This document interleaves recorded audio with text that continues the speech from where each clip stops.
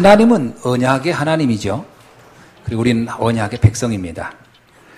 언약이란 말은 어, 하나님이 우리에게 말씀을 주시고 그 말씀을 성취해 가는 거죠.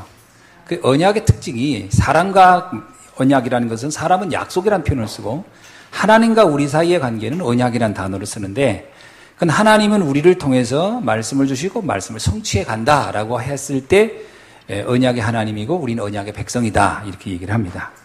그렇기 때문에 가장 중요한 건 우리가 그 언약 속에 있으면 어떤 일이 일어나느냐는 겁니다.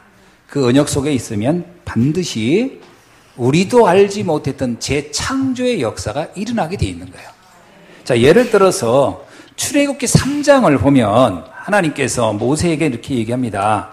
내 백성을 이끌고 나가라. 이거는 언약을 주는 거예요. 그럼 모세가 그 말의 언약 속에 있는 것과 그 말을 듣고 나는 이렇게 안 할래요 하고 언약 밖에 있는 것은 천지 차이죠.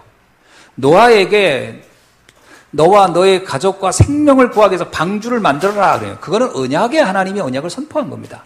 근데 만약에 모세가, 이 노아가 그 말을 듣고 그대로 순종해서 그 말씀 속에 있는 것과 그 말씀 밖에 있는 것은 결과가 어마어마하게 다른 거예요. 그 말씀 속에 있을 때는 재창조의 역사가 일어나는 거예요.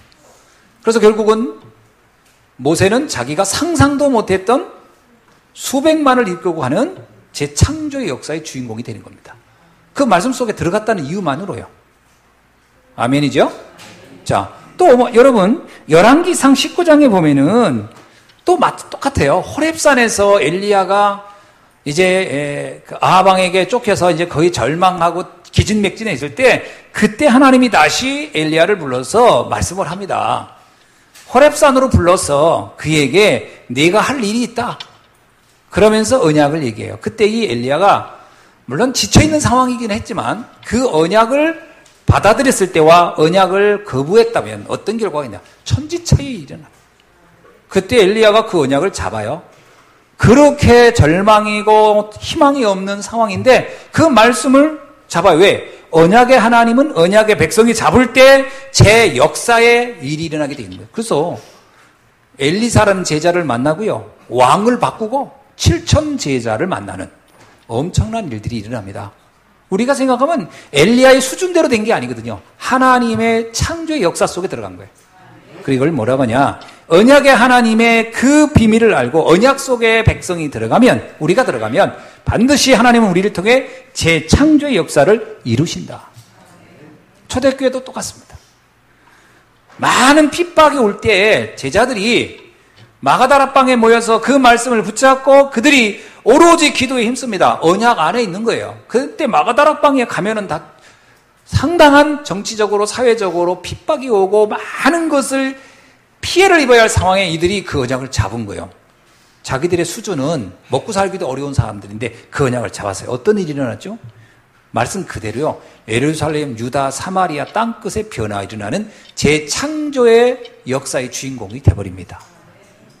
그래서 우리는 하나님의 언약의 말씀을 들었을 때 그 말씀 속에 있느냐, 말씀 밖에 있느냐, 그건 엄청난 거예요. 우리가 언약의 백성이라는 얘기는 그 말씀을 내가 잡으라는 거예요. 근데 이 말씀은 어떤 특징이냐? 이 하나님이 우리에게 언약을 줄 때 말씀의 특징이 있어요. 이것은 이해 불가능이라는 겁니다. 우리의 머리로는 이해 불가능한 거예요. 보세요. 노아에게 저 산에다가 방주를 만들라는 거예요. 아니, 강가에다 만들라고 해도 쉽지 않은 일인데 산에다 만들라는 그리고 이게 얼마나 규모가 큰지 어마어마한 거예요. 이해 불가능. 인간의 상식으로는 이해 불가능. 모세에게 말합니다. 80 먹은 노아에게 모세에게 이 백성을 이끌고 나가라. 아니 지금 바로 왕한테 쫓기는 입장이에요. 나이는 이제 80이 됐어요. 자기는 말도 할 수 없고 그렇죠. 오랫동안 양들만 하다 보니까 말을 안 쓰니까 말도 잊어버렸다는 거지. 그의 모국어 잃어버렸어요. 그리고 힘도 없어. 이해 불가능. 근데 지도자가 되라는 거예요. 그 바로를 만나러 가라는 거예요. 이해 불가능. 언약의 하나님이 말씀을 줄 때 우리의 수준에서는 이해 불가능한 말을 하신다는 거예요. 엘리야에게 말합니다. 아니 나는 아방에게 쫓겨서 이제 더 이상 살 길이 없어요. 절망해요. 힘들어요. 못 살겠어요. 이제 저의 생명을 가져, 가져가세요. 라고 하는 그 상황에서 말합니다. 네가 이스라엘 왕을 바꿀 것이고 아바의 왕을 바꿀 것이고 나가서 7천 제자가 바라, 바랑에게 아, 아방에게 무릎 꿇지 않은 우상하게 무릎 꿇지 않은 7천 제자가 있고 그리고 너를 통해 엘리사라는 제자가 있을 것이다. 이해 불가능한 언약을 줍니다. 초대교회 성도들 초대교회 성도들에게 예루살렘, 유다, 사마리아 땅끝 그게 가능한 얘기가 아닌 거잖아요. 이해 불가능. 우리의 생각으로는 이해할 수 없는 그 말씀을 하나님은 언약으로 던져주는 거죠. 여러분 어떻게 생각하십니까? 여러분을 통해서 237개 나라를 살릴 것이다. 이해 가능, 이해 불가능. 어느 쪽이에요? 아, 이해 가능. 아, 역시 랩런트는 믿음이 좋아요. 어른들은 계산을 하지. 이해 불가능. 가능하겠냐, 내가. 다섯 돌이 있는 교회를 건축. 이해 가능, 이해 불가능. 아, 이해 가능. 하, 역시 믿음. 그래, 우리 랩런트는 이해 가능해. 근데 어른은 계산을 해보는 거예요. 이해 불가능이라고. 아이고. 절대 불가능. 이해, 가, 이해 불가능이 아니에요. 절대 불가능. 절대 불가능합니다, 하나님. 아니, 사용할 자가 따로 있지. 저 같은 자를 어떻게 씁니까? 우리는 모세가 한 얘기를 우리는 똑같이 할 수 있어요. 저는 돈도 없고요, 배경도 없고요, 힘도 없고요, 능력도 없고요. 하나 아내도 반대하고요. 아무것도 할 수 있는 게 없어요. 이게 절대 불가능. 근데 하나님은 제 창조의 역사를 이루신다는 거예요. 자, 그러면 언약 자체가 축복이라는 거예요. 그리고 보면 그죠? 하나님의 말씀 자체가 축복이라니까. 근데 그 말씀이 축복으로 받아들이느냐, 그 말씀이 큰 침으로 받아들이냐는 그건 이제 우리들이 선택이에요. 어떻게 생각하십니까, 여러분? 지금 여러분에게 세계보고 말한 말이 축복으로 들려드립니까? 아니면 아, 부담으로 들려드립니까? 내가 현장에서 제자를 찾는 다락방 응답을 하라. 현장 곳곳에 말씀 운동 펼쳐라. 그게 축복으로 들립니까? 부담으로 들립니까? 이게 중요한 거예요. 뭐로 들리나요? 오늘 하나님의 말씀이 축복으로 들려지는 귀한 날이 되겠죠. 여러분 축원합니다. 네. 그럼 여러분의 대답을 우리 사무엘이 혼자 좀 대표해서 좀 하고 있어요. 자, 그러는 중에 하나님이 우리에게 네 가지 중대한 언약을 말하고 있어요. 중대한 언약. 첫째는 뭐냐면 후대라는 겁니다. 후대. 네, 렘넌트라는 단어예요. 여러분 렘넌트란 말이 이사야 6장 13절에 나오잖아요. 밤나무 상술이 나가 다 배임을 당할지라도 그 구루터기는 살아있을 것인데 거기에 새순이 나서 그 구루터기가 뭐예요? 잘린 거잖아요. 근데 구루터기가 왜 살아있냐면 그 뿌리가 살아있기 때문에요. 뿌리는 쉽게 말하면 복음이거든요. 복음을 가진 우리가 이제 뿌리가 그리스도란 말이에요. 거기에 이 복음을 가진 우리가 있는 거예요. 그리고 그 위에 새순, 우리의 후대가 살아날 것이다. 이게 하나님이 우리에게 준 언약입니다. 그러면 그들을 통해 어떻게 숲을 이룰 것이다. 아멘. 여러분이 언약을 잡고 있으면요. 지금 우리의 모습은 초라해 보이지만 훗날 우리가 숲을 이룰 것이다. 믿으셔야 됩니다. 초기에 한국의 선교사님들이 오셨어요. 토마스 목사님이 오셔서 대동강변에서 성경책 하나 주고 순교했습니다. 그분들의 언약 속에 뭐가 있죠? 이 복이 이 조선 땅을 바꿀 것이라는 언약이 있었어요. 이게 중요한 겁니다. 숲을 이룰 것이다. 만민이 너에게 돌아올 것이다. 이사 60장 1절. 캄캄함이 만민을 덮였지만 일어나 빛을 바라면 뭐라고요? 원방에서 모든 자들이 너를 향하여 너의 빛을 향하여 돌아올 것이라. 숲을 이룰 것이다. 이게 우리가 잡아야 할 언약입니다. 여러분이 복음을 굳게 붙잡고 있다면 그 복음을 잡고 있는 여러분을 통해서 이 시대가 바뀌는 숲을 이루어지는 응답이 올 줄로 믿습니다. 네. 두 번째는 어떤 언약을 우리에게 말하냐면요. 유니티예요. 연합입니다. 무슨 연합이냐? 하나님과 함께 하라는 거예요. 우리는 복음으로 너희들은 분명히 시대를 바꿀 것인데 이제 내가 나와 함께 하자는 거예요. 마가복음 3장 13절로 16절 한번 읽어보겠습니다. 거기서 뭐라고 얘기하죠? 또 산에 오르사 자기가 원하는 자를 부르시니 원하는 자가 누구예요? 하나님이 선택한 자래요. 원하는 자를 부르시니 그들이 나온지라 이에 열두를 세우셨으니 이는 자기와 함께 있게 하시고 이게 가장 중요합니다. 이 함께가 뭐죠? 임마누엘. 하나님이 나와 함께하다. 그러면 끝난 거예요. 다윗이 시편 23편에서 뭐라고 하죠? 여호와는 나의 목자시니 나는 부족함이 없으리로다.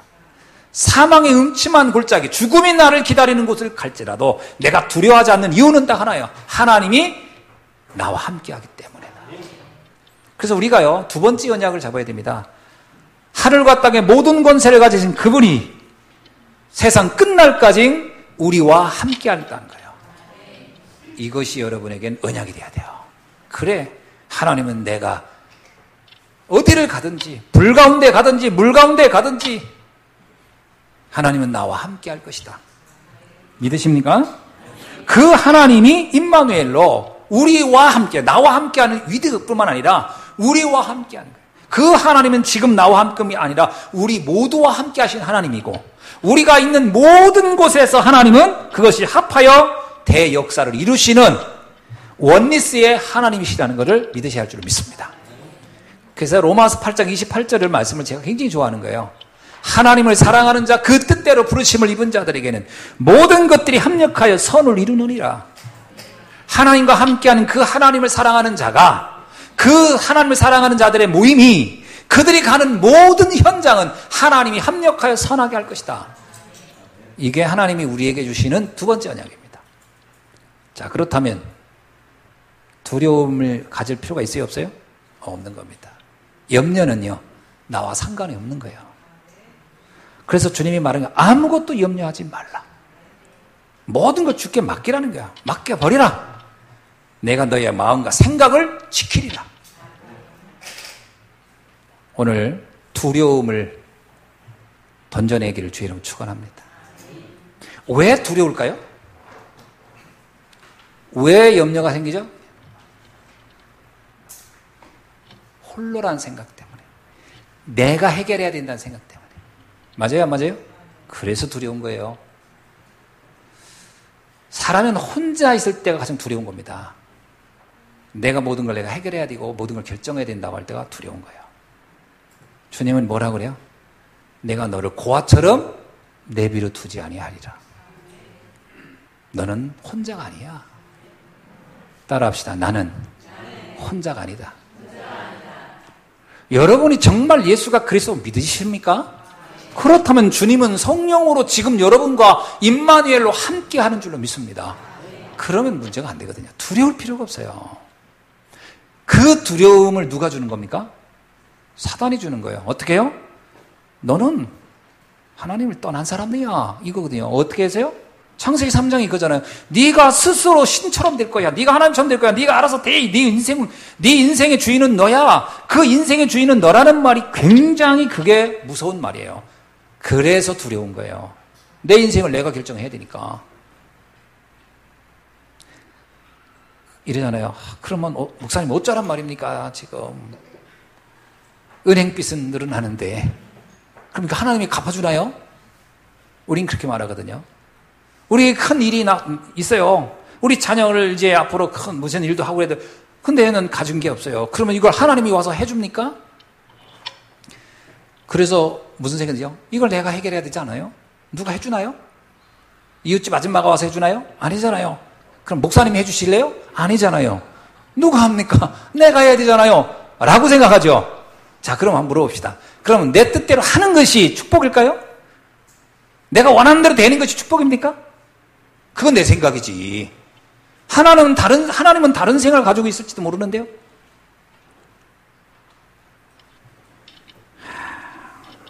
내 말을 안 믿죠? 안 믿어지죠? 이사야서 말씀으로 답을 줘야 될 것 같아요. 이사야 55장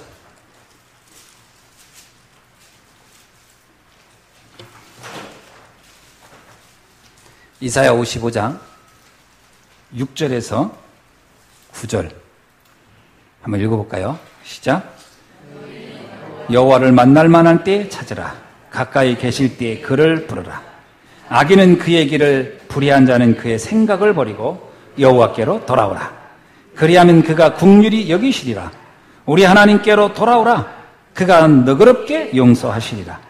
이는 내 생각이 너의 생각과 다르며 내 길은 너의 길과 다름이니라. 여호와의 말씀이니라. 이는 하늘이 땅보다 높은 것 같이 내 길은 너의 길보다 높으며 내 생각은 너의 생각보다 높음이니라. 할렐루야. 아멘. 하나님의 생각은 우리의 생각과 달라요. 하나님이 그 깊게 생각하는 거, 하나님이 그 높게 생각하는 걸 우리는 다 따라갈 수가 없어요. 왜 요셉에게 그런 헐난한 길을 주셨습니까? 요셉이 나라면 우리는 그 나의 생각은 그렇게 안 나했을 거예요. 그죠? 나의 생각은 어떻게 했을까요? 나의 생각대로 생각했다면 절대로 노력하면 안 되겠죠. 여기서 우리는 착각을 하는 겁니다. 하나님이 함께 한다는 것에 대해서 우리는 자꾸 착각을 하는 거예요. 내 생각대로 되어야 한다는 거. 한번 여러분이 곰곰이 기도해 보세요. 내 생각대로 되는 것이 축복일까? 하나님 생각대로 하는 것이 축복일까? 제가 옛날에 한번 얘기 안 들었습니까? 진천에서 너무 어려웠어요. 어느 정도 어려웠냐? 먹을 게 없어. 진짜. 할머니 세 분이 있는데 한 분은 눈이 안 보이고 한 분은 다리가 풍이 왔어. 그래서 교회 올 때 보면 한 분은 눈이 안 보이니까 이러고서 이렇게 이러고 오셔. 한 분은 다리를 끌고 오셔. 그리고 한 분 할아버지는 오다 안 오다 해. 안 온 날이 더 많아. 이분은 우리 교회 성도 세 분이 있어, 세 분. 할머니 두 분에 할아버지 한 분. 정말. 근데 그분들이 헌금을 해요. 500원, 1000원. 다 많이 나온 날이 5,000원이요. 평균 2,500원이요. 할머니들은 그래도 500원씩, 아니, 1000원씩 했고, 할아버지는 500원씩 해요. 하, 할아버지는 할머니한테 뜯겨가지고 못해. 그래서 50%밖에 못해. 성탄절날 5천원에 헌천. 야, 그날은 특별한 날이야. 성탄절날. 부활주일날 추수감사절. 그게 교회였다니까요. 그러니까 뭐 먹을 게 없더라고. 우리는 진짜 뭐 그때 당시 막 알겠지만 우리 아버님하고 나하고 그때 이제 의절했어. 의절. 그 기간에는. 음, 내가 아버님 배신하고 떠나는 바람에 의절해서 아무도 나를 돕는 사람이 없어. 그래가지고 어떻게 하냐면 봄에는 그래도 먹을 게 있어요. 산에 가면 풀을 뜯어가지고서 이렇게 그냥 이름 모르는 풀인데 이제 먹을 수 있는 뜯어가지고 그냥 살, 삶아가지고 무쳐 먹으면 돼. 그리고 뒷동 뒷뜰에 주로 이제 돈나물이 엄청 많아. 그때 돈나물 너무 많이 먹어서 지금은 돈나물 먹으면요 경기해. 먹기 싫어. 돈나물 무지하게 먹었어요. 돈나물 진짜. 예, 나중에 알려줄게 목사님이. 그걸 먹으면서 그 집사람이 영양실조 같거든요. 이야. 그때 제일 나에게 두려웠던 게 뭐냐면 혼자라는 거예요. 아무도 나를 도와주지 않는다는 거예요. 그러니까 무슨 생각은 내 생각대로 돼야 된다 생각이 강렬해요. 그래서 어떡하냐? 로비를 하기 시작하는 거예요. 로비가 뭔지 아시죠? 사람들 찾아다니면서 막 그러니까 어떻든 뭐 이렇게 좀 생기면 그 가지고 이렇게 내 앞길을 열어줄 수 있는 분은 찾아가서 막 선물하는 거예요. 부탁하고 교회가 자리 나면 좀 나 좀 소개해달라고 막 사정하고 그게 목회요. 어차피 신방할 사람도 없고 그리고 시골에서 뭐 시간도 많고 그러니까 계속 이렇게 드디어 그게 목회 들어가지고 연락이 왔어요. 어느 교회인데 교인이 한 백몇 명 모이는 교회래. 거기 후임 목사님 은퇴해가지고 자리가 비었대. 나보고 이제 한번 설교하러 오라는 거야. 내가 그동안 갈고 닦은 것 중에 제일 잘하는 것, 제일 자신 있는 것 준비 딱 해가지고 몇 번 연습을 딱 하는 거지. 그리고 이제 안 보고 할 만큼 준비를 딱 하고 한 거야. 그때는 지금보다 조금 더 잘생겼었어요. 배도 안 나오고. 그땐 지금보다 성대도 좀 더 좋았어요. 그래가지고 막. 하여튼 집중, 초집중을 하고 설교를 했어요. 또 설교도 짧게 했어요. 길게 하면 안 되니까. 평가. 완전 따봉이야. 옷이라는 거야. 다 됐대, 옷이. 근데 그때 당시 보니까 막 승용차도 있지, 사택도 있지. 우리는 사택이 시골 쥐가 다 구멍 파먹은 마루에서 그, 그 살았거든요. 장롱, 추념 밑에다 놓고 비닐로 덮어놓고. 그러니까 지금 장롱이 다 틀어지고 막 그럴 때인데. 그 집이요, 대골같이 보이더라고. 사택이. 대골처럼. 사택 있지, 차 있지. 성도님들은 100명이 넘지. 다 됐구나. 하, 그날 와가지고요. 하나님께 최고의 영광. 할렐루야. 아멘. 역시 주님은 살아계십니다. 별의별 그만 감사의 찬양. 그리고 드디어 인사 딱에 수요일 날 떠납니다. 저는. 죄송합니다. 이번 주 오실 분 다 정해놓고. 그리고 토요일 날 밤에 짐을 싸는 거예요. 아니 참 금요일 밤에 토요일 날 떠나고 그리고 이제 주일 날첫 예배부터 이제 거기서 예배를 드리는 거예요. 흥분을 할게요, 안 할게요? 아, 그래, 그렇지. 잠이 안 올 만큼. 밤 11시 반쯤에 전화가 때리는 왔어요. 어디서? 그 교회 장로님한테. 목사님 죄송합니다. 목사님 못 받겠어요. 이사 그 다음날 6시만 지나면 아침 새벽 6시 차로 떠나려고 했는데 캔슬. 야, 그때요. 하늘이 노랗더라. 왜냐? 주일날 다른 분이 오게 돼 있잖아, 우리 교회. 교인이 세 명이라도 어떻든 나는 비, 비를 피할 곳이 있잖아. 근데 내가 나가줘야 되는 거야. 난리가 난 거예요. 밤에. 잠이 안 오더라고. 어찌 이런 일이. 어떻게 바뀌어, 기도가? 기도가 어떻게 바뀌었을 것 같아요? 에이? 하나님이 해도 해도 너무 안 되고, 인간을 가지고 자, 장난하냐고, 막. 막. 별의별 막. 이거는 기도가 아니지. 아, 원망스럽고 하나님. 너무합니다. 정말 이럴 수 없습니다. 뒷동산에 올라가서 그 밤에 잠이 안 와. 막 소리 지르고 막 답답해서.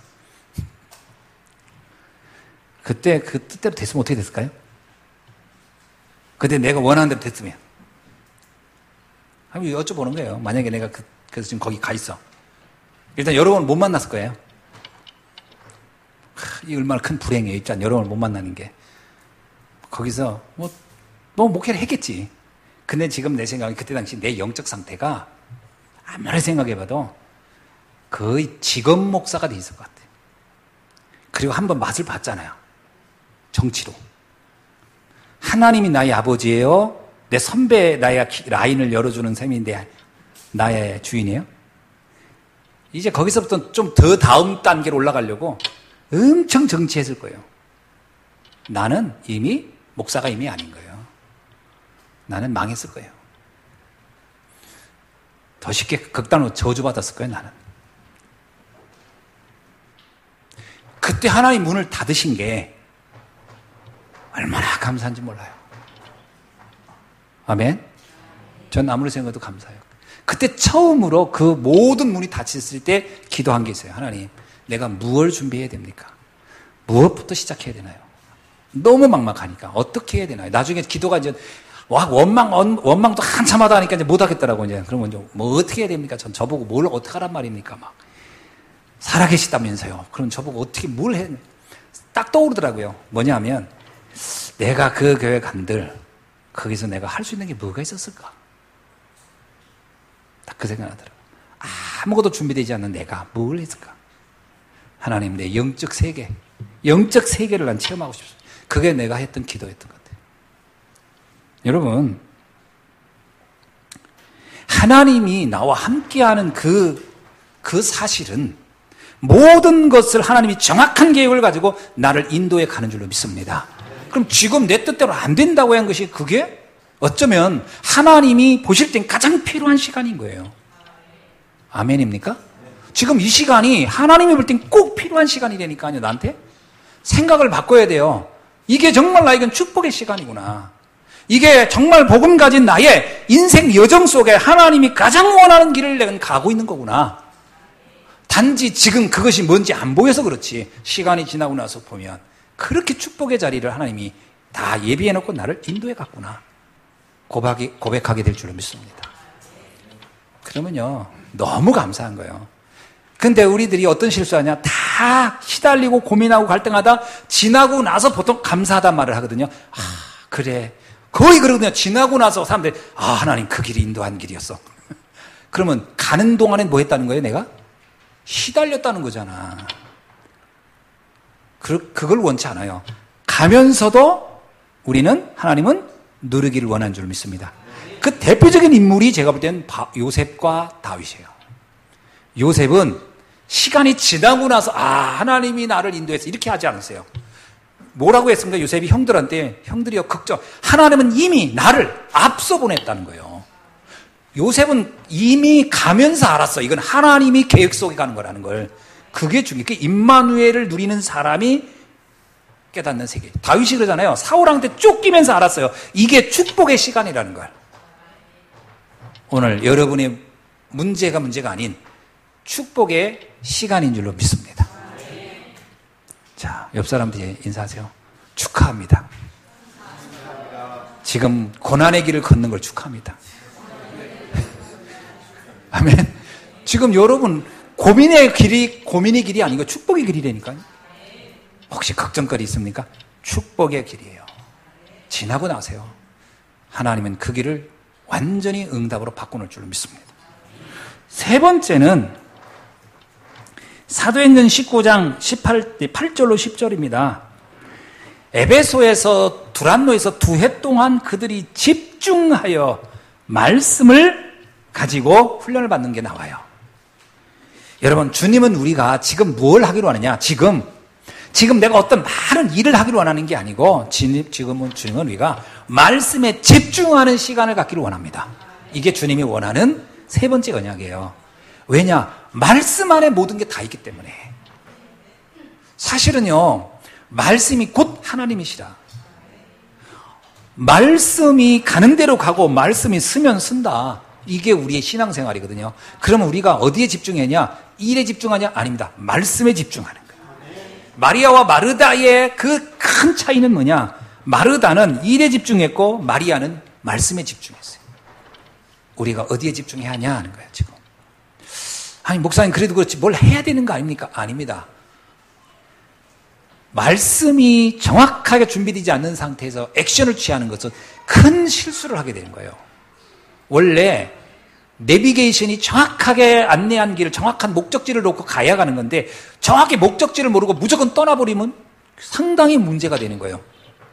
전에 한 번에요. 그게 그때 무슨 저는 늘 저희 아버님 어머님 집을 찾아갈 때 에, 그때가 이제 그, 그 찾아가면 늘 이제 길병원 그 길병원을 치고 가거든요. 이렇게 길병원 길병원 바로 앞이라 그래요. 인천의 길병원. 근데 인, 서울에 뭘 하고 서울인가 아 저쪽 위에 저기 그 어, 저기 저기 동두천 쪽에서 뭐 하고 내려올 때 어머님 집을 들리게 됐거든요. 근데 거기다가 내가 자세히 안 봤어. 과천 과천 길병원 그걸 친 거예요. 그러면 그게 과천 길병원 인천 것도 과천 길병원이라고 하더라고. 근데 그게 서울 길병원이 열심히 내비 차고 가는데 길 방향이 다른 데로 가는 거예요. 그래서 내가 생각해 아 이거 돌아가는 길인가 보다. 나중에 도착해 보니까 서울 길병원 앞에 서 있는 거예요. 정확하게 확인하지 않고 무조건 달려간다고 해서 잘 가는 건 아닙니다. 그렇죠? 간 것만큼 손해요. 간 것만큼 손해요. 그래서 말씀에 집중해 놓고 말씀에 뭘 말하는지 지금 말씀이 나에게 무엇을 원하는지가 답이 나온 상태에서 액션을 취해야 돼요. 그래서 초대교회 성도들은 어떻게 했죠? 감남산에서 말씀을 듣고 마가다락방에 모여서 오로지 그들의 기도에 힘썼노라. 집중의 시간을 가진 거예요. 그게 굉장히 중요합니다. 거기서 답이 나야 그 다음에 그 언약을 확신을 가지고 그래 이렇게 말씀을 하나님 이렇게 성취하겠구나. 그 다음에 액션을 취하는 거예요. 그 다음에 액션이 나오는 거거든요. 근데 우리는 급해요. 액션부터 취하고 가면서 말씀 확인하겠다는 거예요. 어느 날 뭐 이상하게 가버리는 거지. 집중의 시간. 그래서 말씀이 정말 집중하잖아요. 그러면 오는 응답이 있어요. 말씀에 집중하면 치유가 일어나요. 우리는요, 여러분, 내가 말씀을 듣는다고 생각하죠. 내가 말씀을 듣는다 생각하는데, 그리고 하나님 말씀을 잘 듣는다고 생각하잖아요. 근데 아닙니다. 내가 아는 것만큼 들리고, 내가 왜곡된 것만큼 들려요. 신기하게. 사람은 자기의 수준만큼 말씀이 들려요. 그래서 하나님이 원하는 말씀이 안 들린다니까? 내가요, 막 상처가 가득하잖아요. 그럼 성경 말씀이 그 상처 속에서 들린다니까? 그래서 말씀에 집중해야 치유가 일어나요. 보통 사람들은 이미 나의 생각을 정해놔요. 정해놓고 말씀을 갖다 붙여. 그렇게 신앙생활 하는 사람 진짜 많아요. 이미 내 생각은 안 바꿔. 그 제가 지난번에 예배가 뭐라 그랬죠? 산 예배가? 산 예배의 특징이 있다겠죠? 바울이 그랬죠? 산 재물을 드려라. 그것이 산 예배다 그랬죠? 그 재물의 특징이 뭐냐? 예배 때 죽여버린다 그랬죠? 아, 표현하면 죄송합니다. 과격해서 재물을 죽여서 드린다 그랬잖아요. 나를 죽인다는 얘기면 나의 생각과 나의 견해와 경험과 모든 걸 내려놓는다는 얘기거든요. 그래야 치유가 돼요. 의사가 제일 치유하기 어려운 환자가 누군지 아세요? 의사래요. 의사가 의사 치유하기가 제일 어렵대. 의사가 딱 앉아가지고 의사가 얘기한대요. 그러면 자기가 속으로 아, 나도 알아. 그래서 의사가 의사를 치유하기가 어렵대요. 왜? 자기 주장이 너무 많은 거라 의사라. 그래서 잘 의사 말 안 듣는데요. 본인이 환자인데 포지션이 완전히 달라진 거거든요. 이미 환자인데 근데 이미 생각이 너무 많아. 우리가 말씀에 집중하면 내가 치유받기 시작해요. 어떤 치유냐? 나의 모든 생각이 틀렸다라는 게. 여러분, 우리가 하고 있는 생각들이 대부분 틀렸습니다. 그래서 말씀만 옳고 나는 틀리다고 인정을 해야 치유가 일어나요.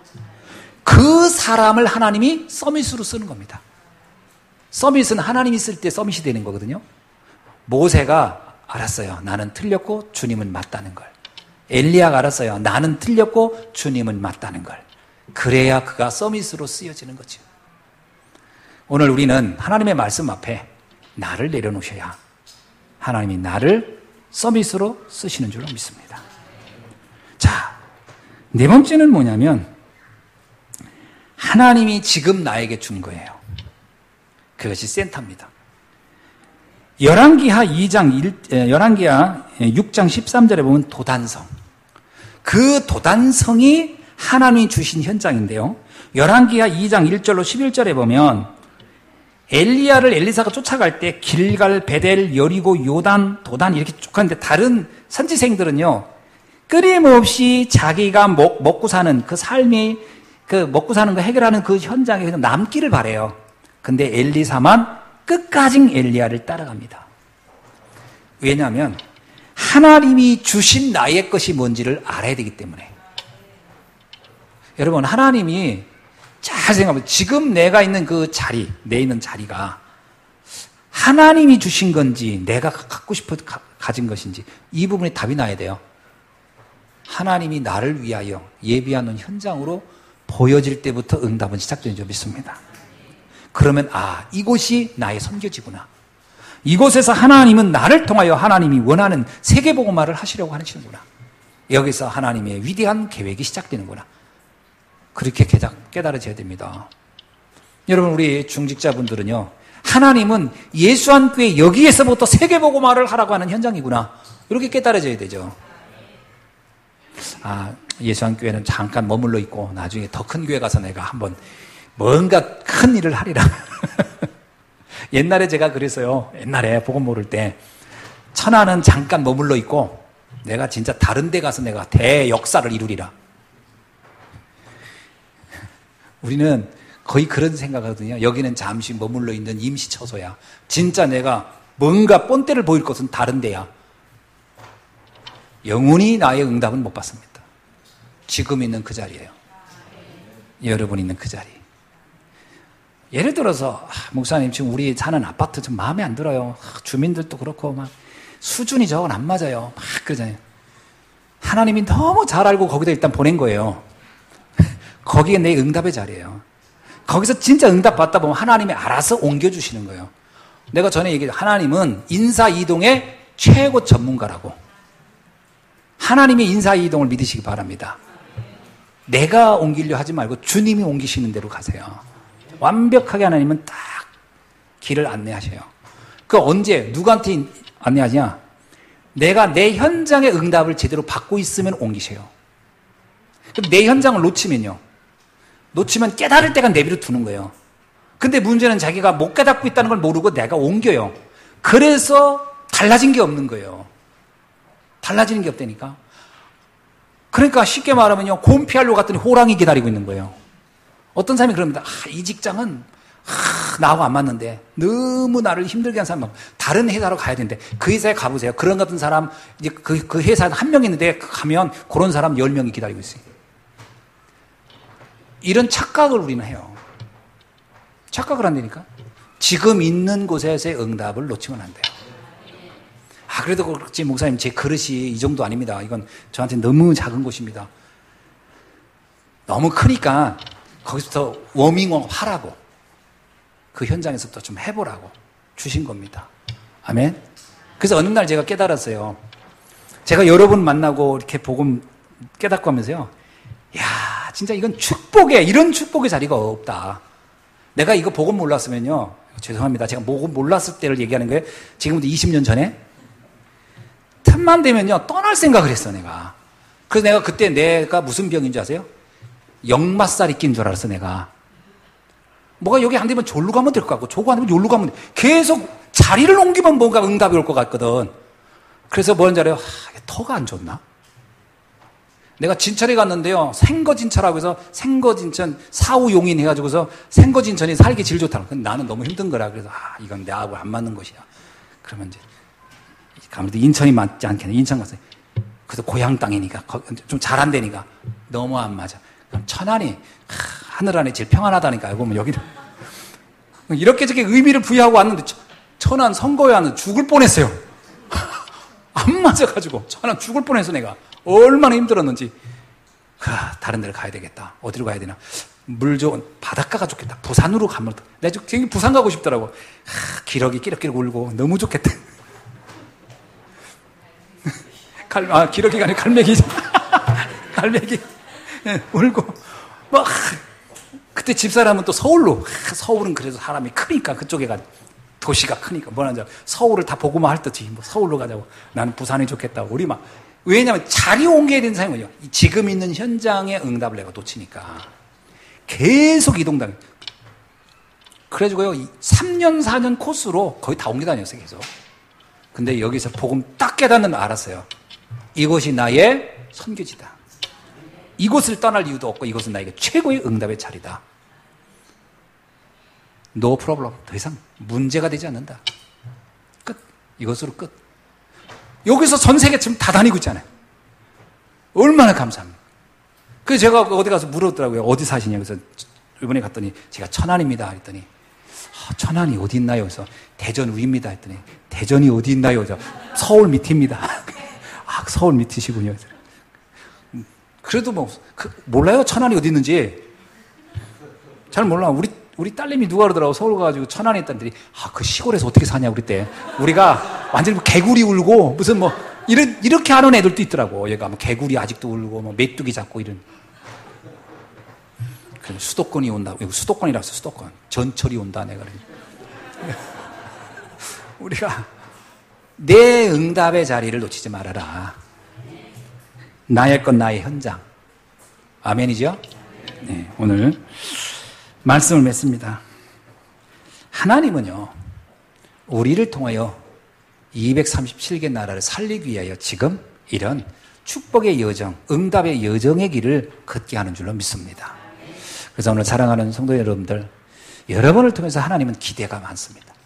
누구를 통해 하냐? 여러분을 통해 하기를 원하는 거예요. 237개의 나라가 여러분을 기다리고 있는. 로마서에서 말하죠. 피조물들이 지금 하나님의 아들들을 고대하고 있다고. 그렇습니다. 그들은 우리를 기대하고 있어요. 여러분이 이제 가진 복음 가지고 나갈 때 그 현장이 흑암이 꺾이고 하나님 나라가 세워질 줄로 믿습니다. 기도하겠습니다. 하나님 감사합니다. 오늘 우리에게 주신 이 말씀을 다시 한번 굳게 언약으로 붙잡고 날마다 승리하며 현장을 바꿔내고 현장을 살려내고 세계를 복음하는 주역이 되게 하옵소서. 예수 그리스도 이름으로 기도하옵나이다. 아멘.